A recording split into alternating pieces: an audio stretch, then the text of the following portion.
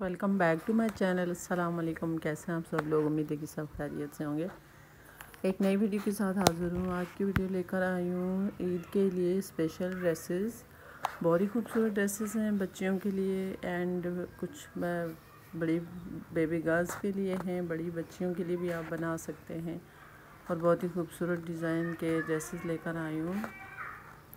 तो वीडियो को पूरा देखिएगा। इसमें तमाम बेबी गर्ल्स के ड्रेसेस हैं, बहुत ही खूबसूरत। ये लेसेस के ज़रिए इसको क्रिएट किया गया है। बहुत ही खूबसूरत। अगर आपके पास आपके कपड़ों के बचे हुए कट पीस पड़े हुए हैं तो उनसे आप बेबी गर्ल्स के बहुत ही खूबसूरत और बेबी के बहुत ही प्यारे प्यारे फ्रॉक बना सकती हैं।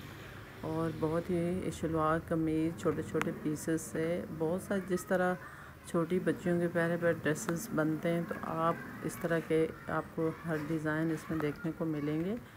बहुत ही इसमें प्यारी प्यारी लेसेस लगाई गई हैं, गोटा लेसेस से तैयार किए गए हैं, जिस तरह के ईद आ रही है और ईद पे आप बच्चियों के ड्रेसेस आप घर पे भी रेडी कर सकती हैं। समर के सीज़न में बहुत ज़्यादा आपको पता है, आजकल बहुत ज़्यादा गर्मी पड़ रही है, जिसमें लॉन के ड्रेसेस ही बच्चियों को पहनाए जा सकते हैं, बाकी कोई भी लीलिन और कॉटन के ड्रेसेस तो बिल्कुल भी नहीं पहने जा सकते।